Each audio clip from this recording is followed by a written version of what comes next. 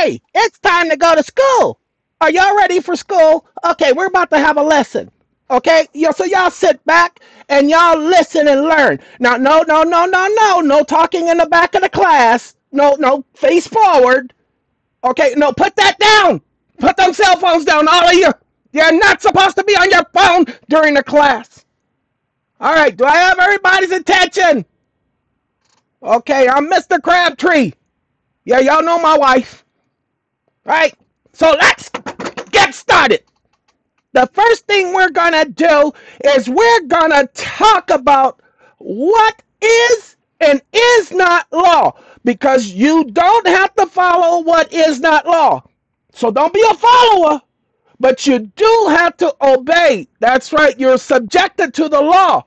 Why subjection? Because you agreed to be in subjection to the law.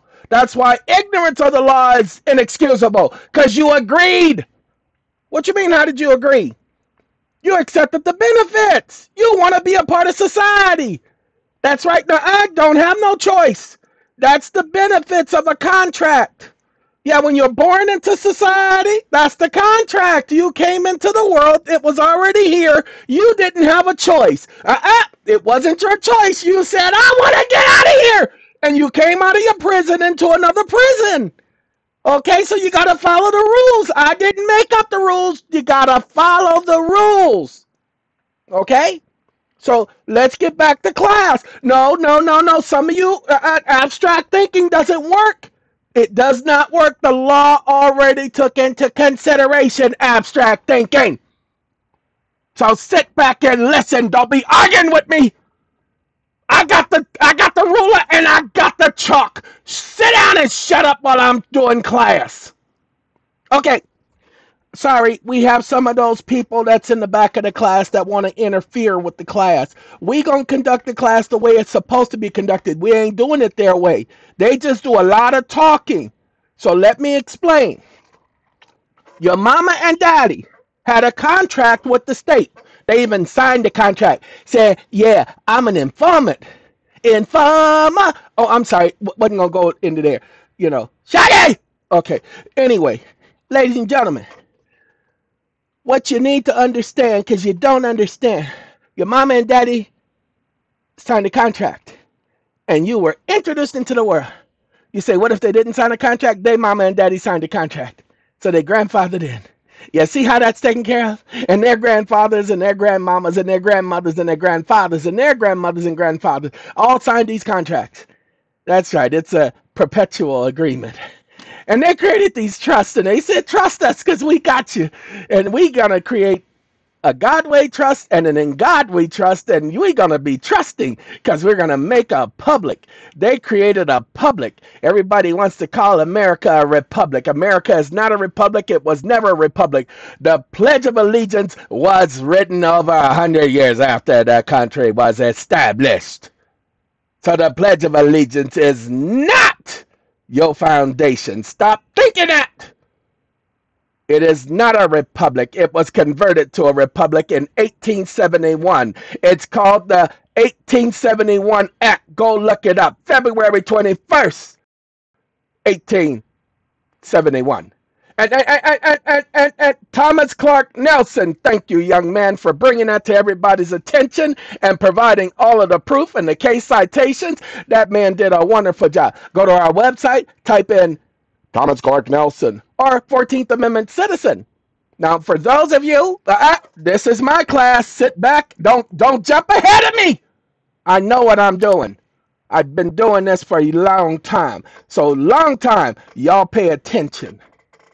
For those of you who didn't understand we're going to help you understand what you're going to do. You see how I'm on my computer? You're going to go to your computer. This is going to be a part one, part two, part three, part four. This is going to be on TikTok. So for those of you on TikTok, this is for you.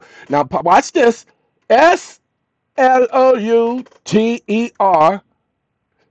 Well, we don't even have to go any further. Wait, hold on. Let's see. Nope, can't do it.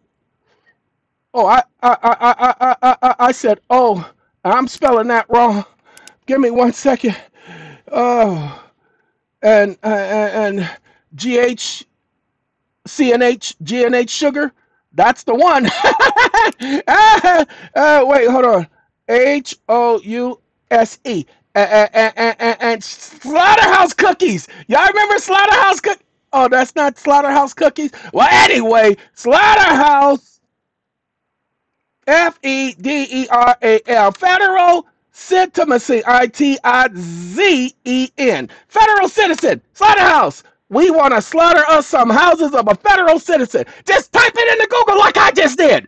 In the slaughterhouse cases, cases with an S says after 1871. Did you notice how unique that is? The Supreme Court of the United States not the United States Supreme Court, two different courts, but the Supreme Court of the United States ruled that the privileges, you accept them benefits and privileges and immunities, you part of the contract. Okay, them privileges and immunities clauses of the 14th Amendment protected only, singular, only those ignorant fools who had rights as federal citizens Federal citizens? What is a federal citizen? I've never seen anything known as a federal citizen and did not extend to the many rights granted by the individual states. That's right, state citizens and that federal citizens, it, they ain't the same thing. So let's look up federal citizen.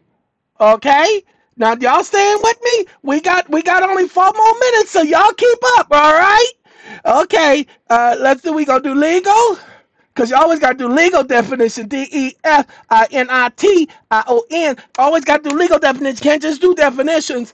A federal citizen is a person who is a citizen of the United States, either born or naturalized, and owes an allegiance to the country. They are entitled to all civil rights. You don't, you don't have no civil rights, y'all. That's 14th Amendment. Stop talking about your civil rights. And protections provided by the government. For example, a person born in the United States is a federal citizen. Okay, ain't no such thing. Constitution doesn't say nothing about no federal citizen. No, they created the federal citizen with the social security number and all those other contracts. That's how they create a federal citizen. Constitution doesn't have a federal citizen. Constitution was the government by the people, for the people, other people. It ain't no federal government. Government ain't in charge. The people in charge. I thought y'all knew that. Okay, now that's the first thing. We have to get y'all to understand who you is. Go look up the slaughterhouse cases. They right there. Now let's do citizen. We have to find out what a citizen is because citizens, that's a unique word. A citizen is a person who by place, birth, nationality, or one of both parents or naturalization is granted full rights and responsibilities. So you don't want to be a citizen because you want to have those inalienable rights that is spoken about in the Declaration. Yeah, endowed by God. You know, nature and nature's God. Do you want to be not a citizen? You want to be a civilian. What's a civilian? Well, we just got to take the T out of citizen. We put a V and, and we take the Z and the E out of there because ain't nobody need no Z you, you need some Z's, then you need to go get some sleep, okay?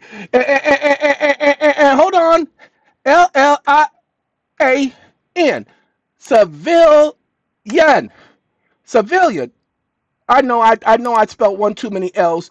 Okay. Anyway, private citizen. A civilian is not a private citizen.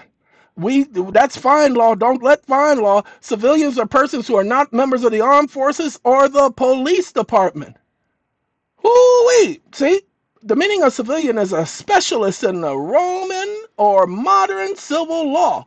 Ooh, you could be a civilian. Okay, a civilian is a person who's not a member of the armed forces or a person engaged in hostilities. I ain't engaged in no hostility. They say I'm hostile, but I ain't engaged in no hostility class. Okay, that's lesson number one. We're going to be back with lesson number two, three, and four. So pay attention because we're going to talk next about tax credits and the 1099C. Would you like to learn? We're going to talk about that and we're going to invite all of you. All right, be back in a moment.